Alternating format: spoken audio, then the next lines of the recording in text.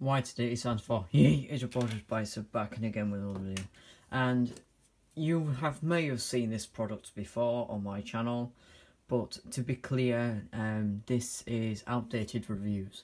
Basically, it's a new series where I review out-of-date products, which has been serving us well throughout the years of its release. So you may recall the 12th Doctor's Sonic Screwdriver TV remote by the Wand Company um, has now stopped producing these, um, has been stopped for a few months now. Um, unlike the 10th, this is battery operated, not chargeable, so we'll point that out. Um, it is very similar to the 11th Sonic Screwdriver Universe remote. I'm just going to go get it now. Um,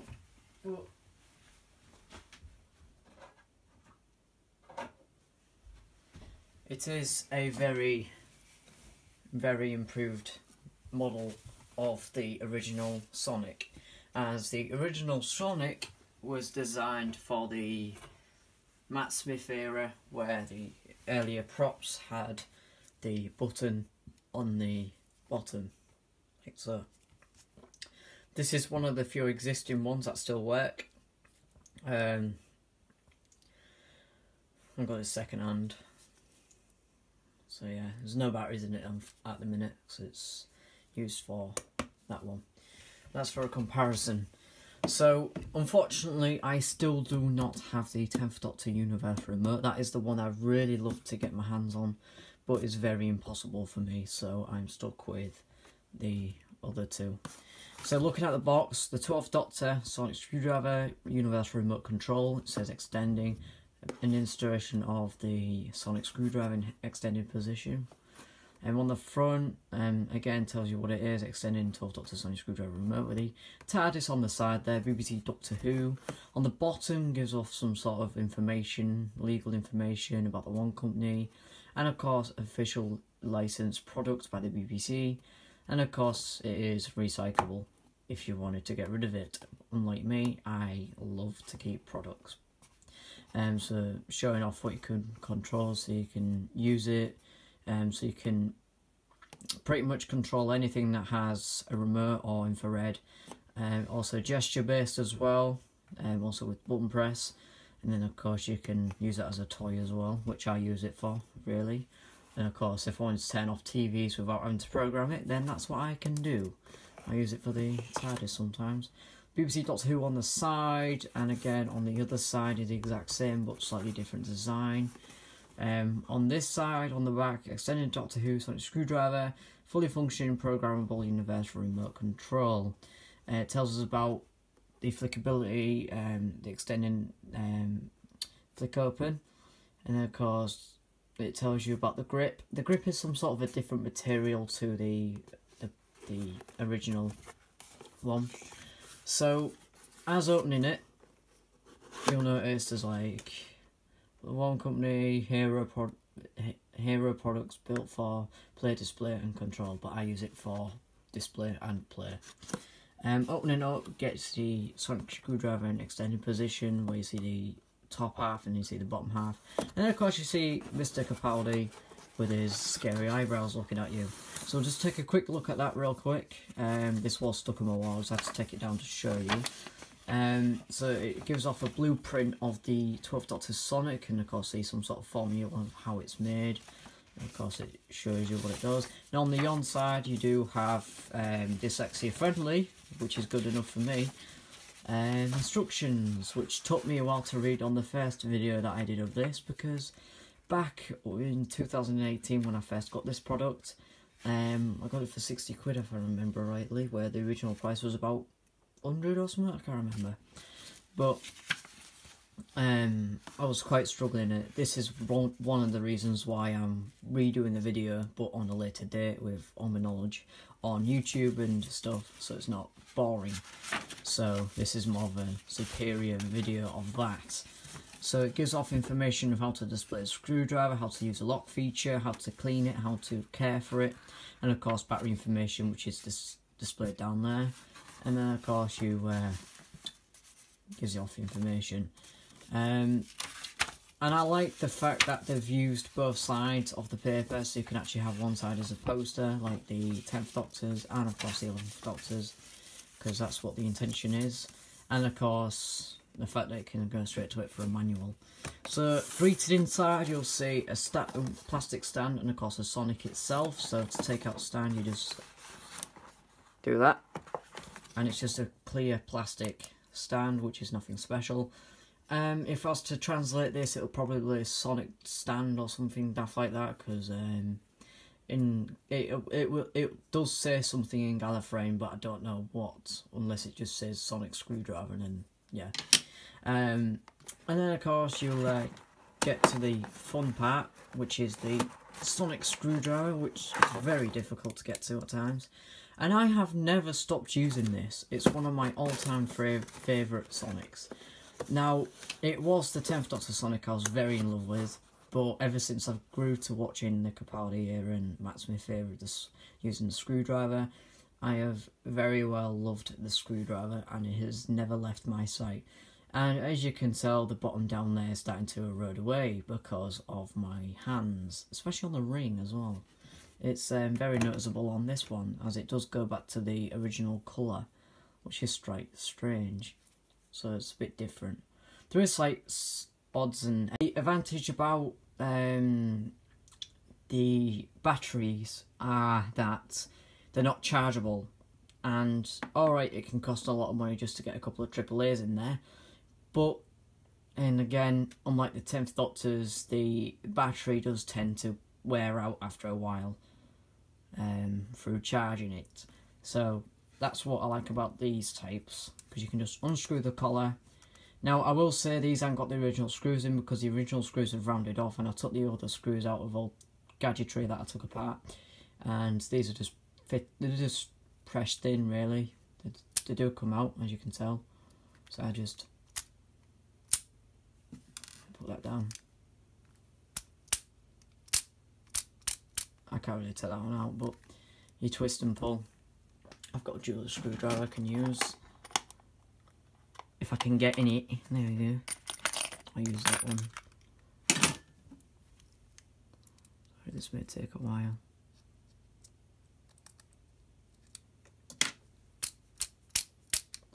However, I did find a screw from a different thing and I put it into that one and it seems to do it a lot better than these.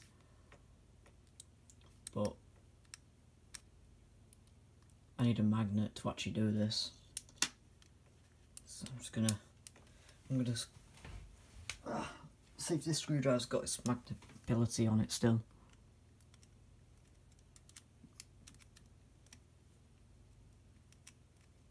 And it doesn't. Right, I'm gonna go get a magnet. Sorry about this.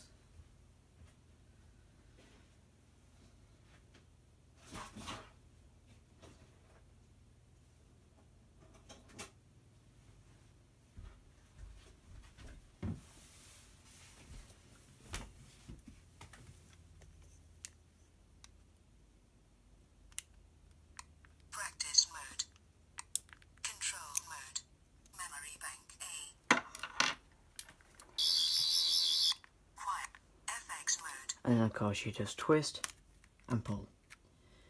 And then of course you can just think of that and two AAA batteries. It's pretty neat.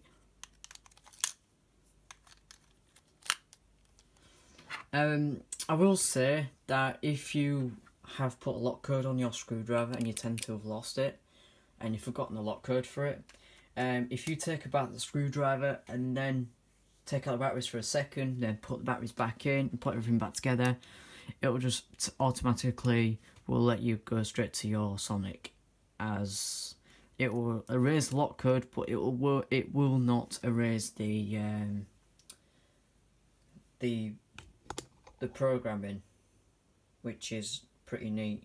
And I like that as say if you've lost your screwdriver um, lock feature because you don't know the password for it, then you can just straight up remove the batteries and then put them back in, which is what I like about the screwdriver.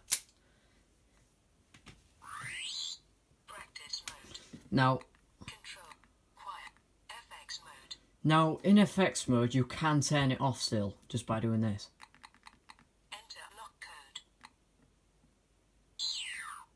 As soon as you turn it back on, that's how I use it, which I like. So, um, I will say that it does have like other features as well. It's got a secret sound on it, uh, not secret sound. It's it, it did accidentally do the test mode, but I don't know how to access it. But I know I managed to get the test mode on this one because it did the test mode. That one didn't. It did once, but I don't know how to redo it. But if you press it a few times, you have like a torch. Press it um press it seven times. Press it eight times. Does Morse code.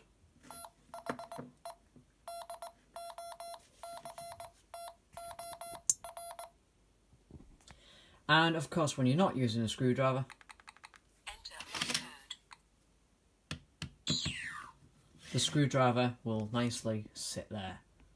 And that's all space saving as well, like the 10th Doctor's screwdriver stand was. But this time it's just a plastic holder holding the screwdriver. You can hold it like this, or this, or like that, but I use it as like that. Um, it does say in the manual you put it up like that to stop the sharks from eating the screwdriver. it does actually say it in the manual if you read it. Um, overall, what happened to the product? It's pretty cool. Um, does it offer as much features as it does now? It does.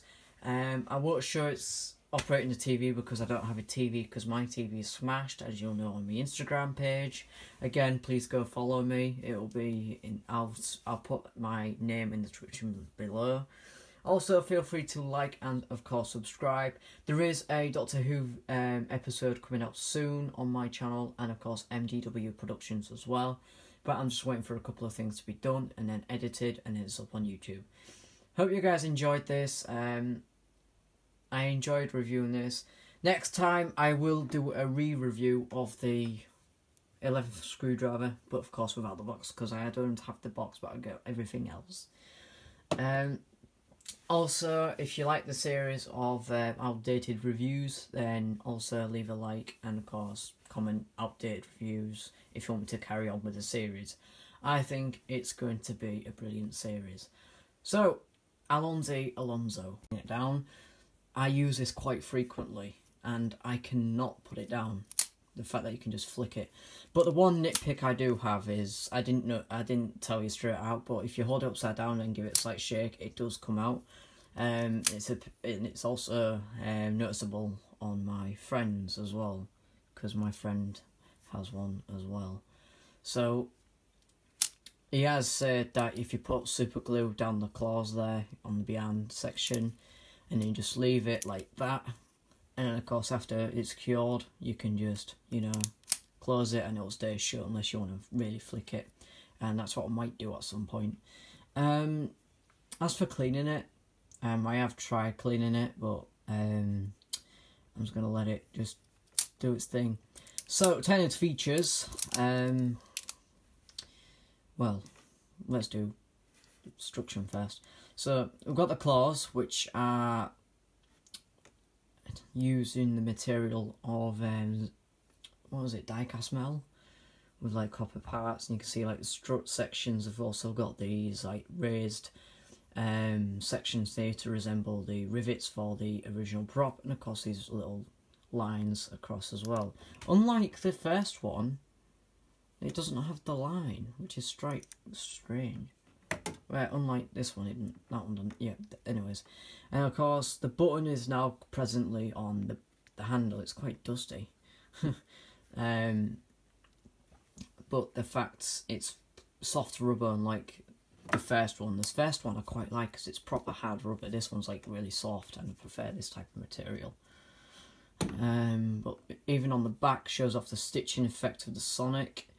Um, you can see like the rings section, especially down here, it starts to wear. You can tell it's after use. And if you if I zoom in, if I can, you can notice them black specks flecks in them. and that's what I like about it to give it that age effect on the Sonic device, like it's being handled like pretty much all the time, and that's what I like about it. Because on the first one, it's just pretty much straight up white, and it's very harsh to look at. Where this one's got more of a yellow to it, as you can tell. Um, another thing about this is the bottom panel section is slightly skinnier to the original, as you can tell, because that one has housed the button. This one hasn't been modded in any way, it's still the original, it just needs to be having batteries in it to obviously work. But this time the button's on the handle, which means you can actually use it like that and do your thing. And as extended, you can see all them nice little swells in there, which resembles the on-screen well very well. Now it is quite weird to see like plastic against metal construction, which is slightly weird, but I'm actually getting used to it. Um, now I will point out that some of the Sonics out there are slightly more shiny than this one. Um, I don't know why or how, but I think they'll just polish it. But even out of the box, brand new, they tend to just be like proper shiny, shiny metal construction. You can notice these little screws on the sides. Um, after a while of flicking the Sonic, which I'm going to be fixing so shortly when I've got some super glue, I was going to dab it inside the emitter because this will, the emitter crystal will start to go up and it'll start to move as you probably can tell there. But yeah. Um, the cage section does wiggle side to side, including on the there. That's to give way for the mechanics of the flickability, and that's a word that Propsmith has said. And speak and the claws, however, are slightly misshapen. Um, I don't know why it's like that, but I think it's just to give room for like the springs inside, and they are hollow, as you can tell. You can tell like the molding process and stuff, is pretty cool.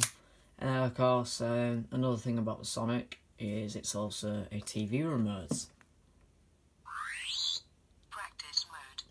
And as you can tell, it comes with practice mode as soon as you turn it on.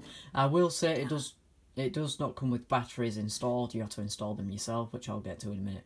So you got your gestures. Down. Up. Right. Left. Right. Hang on, Clockwise. Anti-clockwise. a bit defective. Push. Right.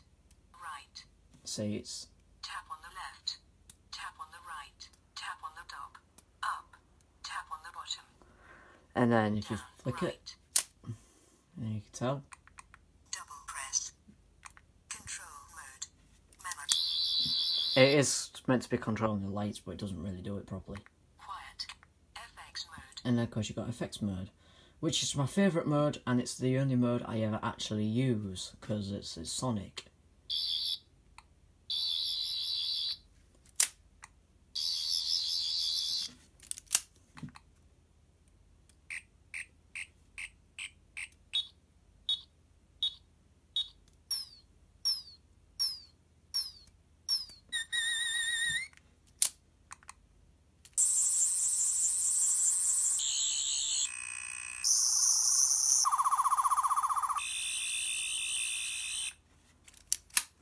So, the one thing I like about the screwdriver is it's not all gesture based. Um, to activate the lights and sounds for the effects feature, unlike the original, um, you actually press the button, and I quite like it. Whereas this one is just straight up gesture based in the effects mode as well, and it's kind of annoying. That's why I don't use this one. If it wasn't gesture based, I would start using that one. Now, the question that some people ask me is if you switch the bottom sections, does it still work? The